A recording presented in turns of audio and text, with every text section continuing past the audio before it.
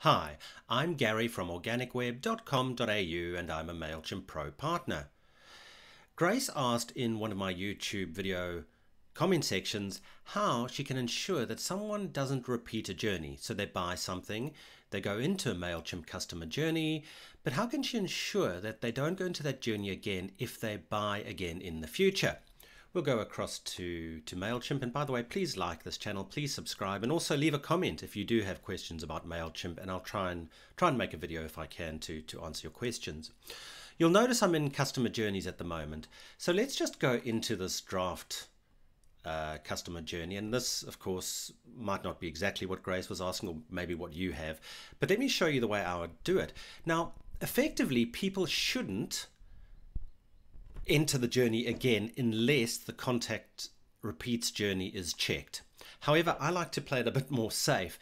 So my recommendation is they start the journey, you then create your email, or you do whatever you want to along the way on your journey. Um, what I recommend then is that after sending the final email or the final action is add a tag. So I'll click add a journey point. Your screen might look slightly different. Sorry, let me just move myself around a little bit your, your screen might look slightly different. But what I'll do here is I'll just tag or untag. So I'll just tag these people. So I can call it anything. So let me call this um, done. I don't know. Let's just go done. Let's just call it done. Silly word, but there we go. Done. Um, and the action I'll choose is add. So what we're going to do is we're going to add the tag of done. So the person goes through the journey and they tagged at the end of the journey with done. But then what we want to do is go back to where they first enter the journey, and that might be the purchase of a product, that could be when they sign up, when they tag something, whatever.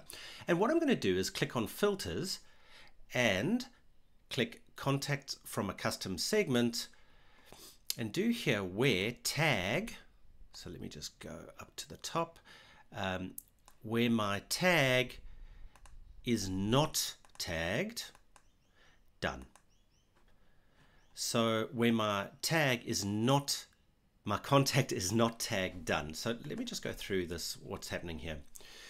So this will now only trigger to people that meet the condition, whatever your trigger is, whatever your starting condition is, they sign up, they make a change to field, they purchase, but where they don't have a tag called done because we know that all people that have gone through this journey would have been tagged done at the end. Therefore, we don't want them to go through again. So we just say, don't include people in this journey who are tagged with done. And hopefully that answers the questions.